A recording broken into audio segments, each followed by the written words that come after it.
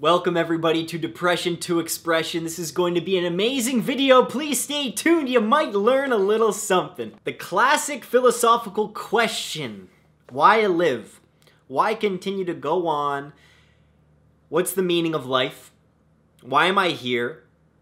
Why face discouragement and suffering when uh, the end just results in death? I may be suffering at this very moment, so why continue to go on? I believe the first thing we have to do when we ask ourselves these, these pretty complicated questions, these heavy questions around meaning and life and how we're feeling and consciousness and reality and how we experience life on, on an individual level, we need to think about how we differ from animals. We are an animal, we evolved, but the way we differ ourselves from animals, let's let's go back to the 1700s with this guy you may know, Rene Descartes, a French philosopher. I'm French too. Maybe if I go to ancestry.ca, do a swab, maybe he's related to me. Do we look the same? He was the guy who said the difference between animal and man is that we can reason. An animal is based solely on instincts. It is our ability to reason and think about our thoughts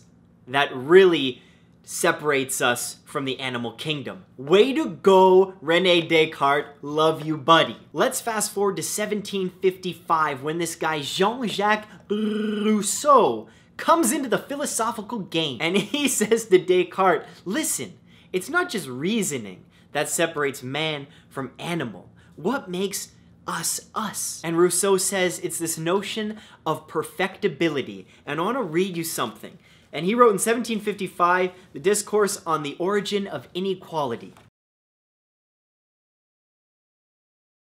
There's a notion of perfectibility, broadly speaking, the capacity to improve oneself over the course of a lifetime. Whereas the animal is guided from the outset by instinct, is a manner of speaking perfect from the start, from birth. It is clear that an animal is led by an unerring instinct common to all members of a species, from which it can never really deviate.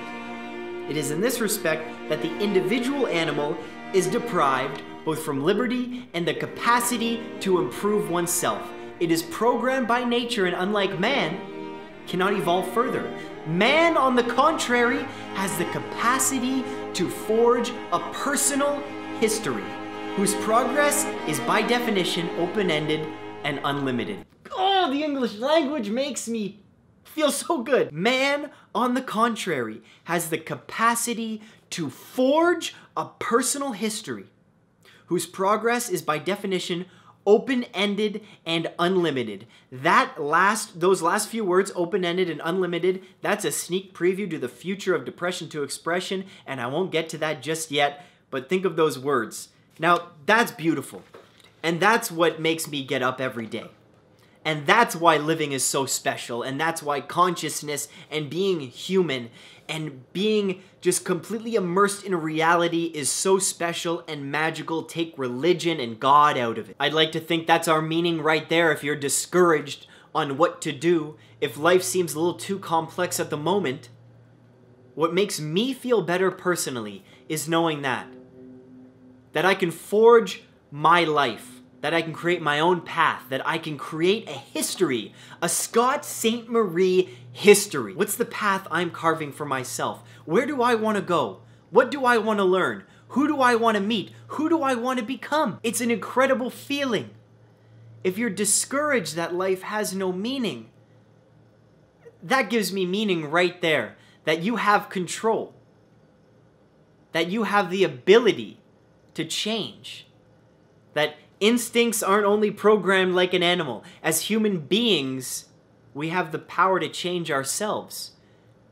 We have the power of possibility. Our futures are infinite. You know, when we get discouraged, when we can't find the light at the end of the tunnel, when everyone else seems to be doing everything right and we seem to be falling behind, when we play that comparison game, maybe ask yourself a few questions. Am I learning? Am I becoming who I admire? And do I like what I do? If you're feeling discouraged and uh, you're in a hole right now, try to simplify things, right? Ask yourself those three questions. Those three questions there. Like, what I do with my fingers. Ask yourself those three questions and keep it simple. At the end of the day, you know, the day may not have been as productive as you would have liked because it was tough getting out of bed, you had a late start, you didn't get as much done as you had thought. But was the strength still there? Was the will still there? Did you learn a little something? And if you answered those questions like with a yes, I learned something. And yes, I'm proud that I got out of bed. I'm proud that I went to that meeting. I'm proud that I ate today. I'm proud that I wrote in my journal, that I went to my therapist, that I called someone. I'm proud that I did the laundry today. You know, I put in 80% effort today. And I learned something. You know, it doesn't have to be something tangible. It can be, I learned something about myself. That's the human condition right there. You're forging your own path. You're developing strength at this very moment. And that gives you meaning. I'm going to ask you for a little favor here. Scott's asking you for a favor. Please don't give up. Please don't give up. Know your own strength. Keep forging your own path. Create a history that you're proud of and become someone you admire. Stay strong, everyone, and keep being you. Like, comment, subscribe. You got this.